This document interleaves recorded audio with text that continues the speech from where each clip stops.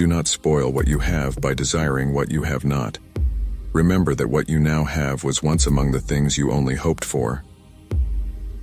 The things you really need are few and easy to come by, but the things you can imagine you need are infinite, and you will never be satisfied. He who is not satisfied with a little is satisfied with nothing. He who has peace of mind disturbs neither himself nor another. Not what we have, but what we enjoy constitutes our abundance. Skillful pilots gain their reputation from storms and tempest. Happiness is man's greatest aim in life. Tranquility and rationality are the cornerstones of happiness. The greater the difficulty, the more the glory in surmounting it. To be rich is not the end, but only a change of worries. Death, therefore, the most awful of evils is nothing to us, seeing that when we are, death is not come, and when death is come, we are not.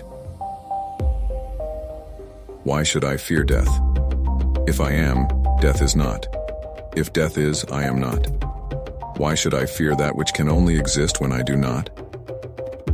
The art of living well and the art of dying well are one. Let no one be slow to seek wisdom when he is young, nor weary in the search of it when he has grown old. For no age is too early or too late for the health of the soul. Being happy is knowing how to be content with a little.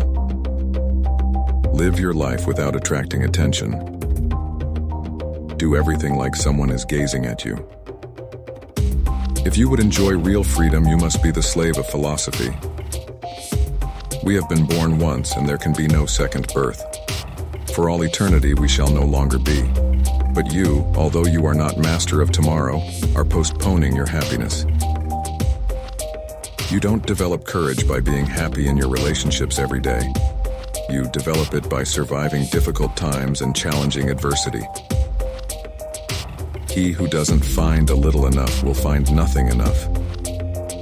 Nothing is enough to the man for whom enough is too little. In a philosophical dispute, he gains most who is defeated, since he learns most.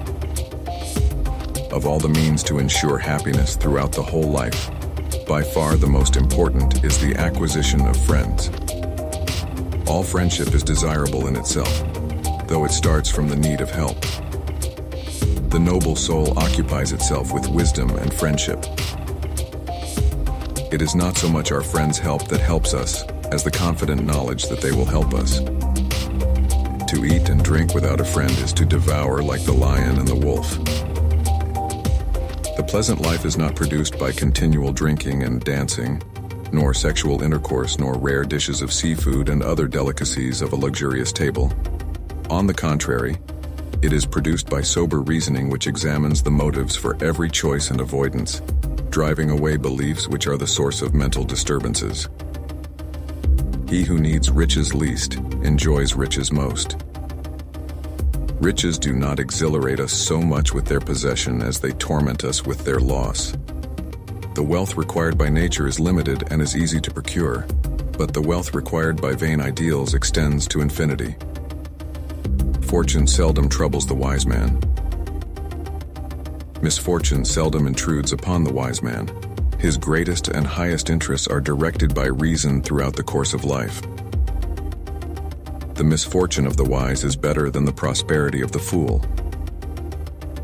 If thou wilt make a man happy, add not unto his riches, but take away from his desires. It is better for you to be free of fear lying upon a pallet than to have a golden couch and a rich table and be full of trouble. A free life cannot acquire many possessions, because this is not easy to do without servility to mobs or monarchs. Men, believing in myths, will always fear something terrible. Everlasting punishment is certain or probable. Men base all these fears not on mature opinions, but on irrational fancies, that they are more disturbed by fear of the unknown than by facing facts. Peace of mind lies in being delivered from all these fears. What will happen to me if that which this desire seeks is achieved, and what if it is not? The fool's life is empty of gratitude and full of fears. Its course lies wholly toward the future. It is folly for a man to pray to the gods for that which he has the power to obtain by himself. We should look for someone to eat and drink with before looking for something to eat and drink. I have never wished to cater to the crowd for what I know they do not approve, and what they approve I do not know. The summit of pleasure is the elimination of all that gives pain. There is no such thing as justice in the abstract. It is merely a compact between men.